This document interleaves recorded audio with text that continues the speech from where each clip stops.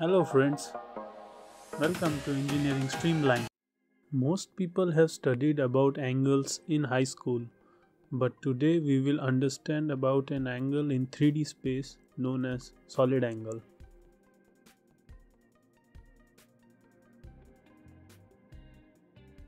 In a 2D plane, if you have a point P and you want to find the direction of the point P from another point A, you can draw a line from point A to point P, then draw a vertical line from point P to point B and then join B to A. Now you can find the angle between them. This is known as planar angle given by tan theta equal to PB by AB. So you can find theta by taking inverse of the tan.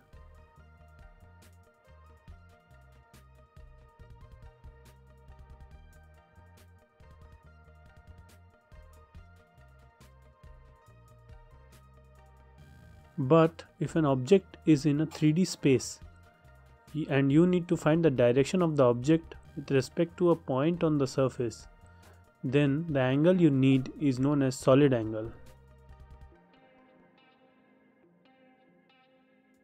Let's understand how to calculate the solid angle as it is important when doing thermal radiation calculations.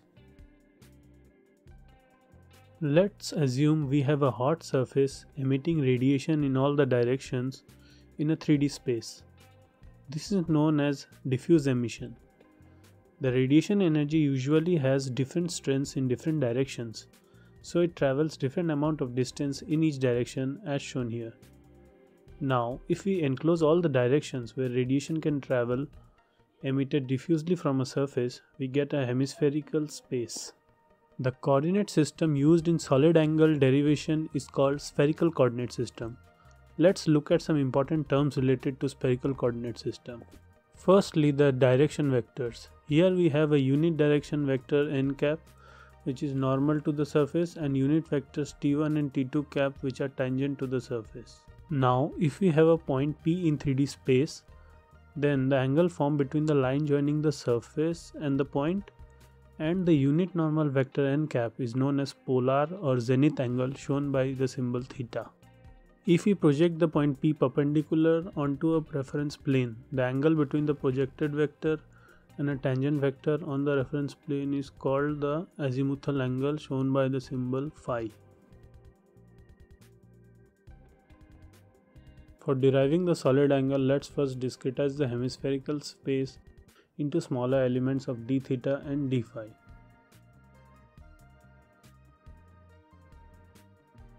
Let's assume that the radiation emitted by the hot surface reaches an infinitesimally small surface element dAj on this hemispherical space.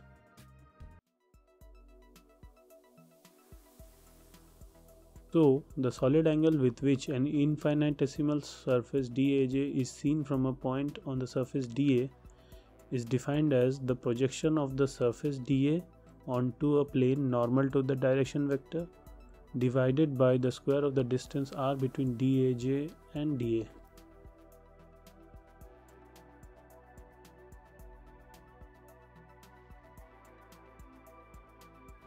Now let's find dAj. Here we are considering the infinitesimally small surface dAj which makes infinitesimally small azimuthal angle d phi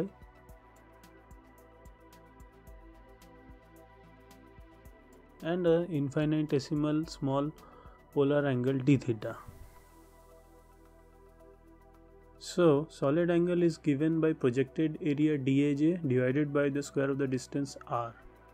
Let's name the points on the surface dAj. We can calculate dAj as the product of the sides AB into BC. So let's first find out BC. We know that if we have an arc of length L from a circle of radius r which subtends a very small angle theta, then L is equal to r theta. Using this concept, we get BC is equal to r d theta from the triangle OBC. Now let's take the triangle OBD. We can get BD equal to r sine theta. Further the triangle ABD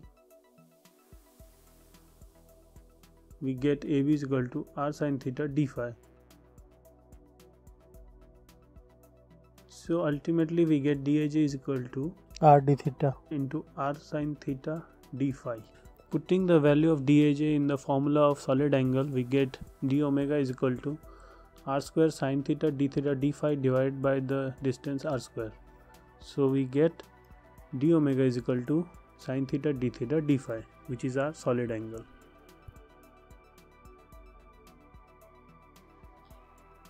So for surface emission we can calculate the solid angle. Here the theta ranges from 0 to pi by 2 and phi ranges from 0 to 2 pi.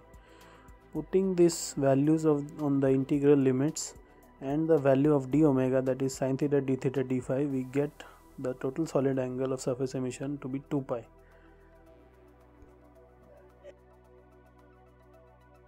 For volume emission theta ranges from 0 to pi and phi 0 to 2 pi so here we get the total solid angle as 4 pi I hope you like this explanation. Kindly like and subscribe and keep looking for more videos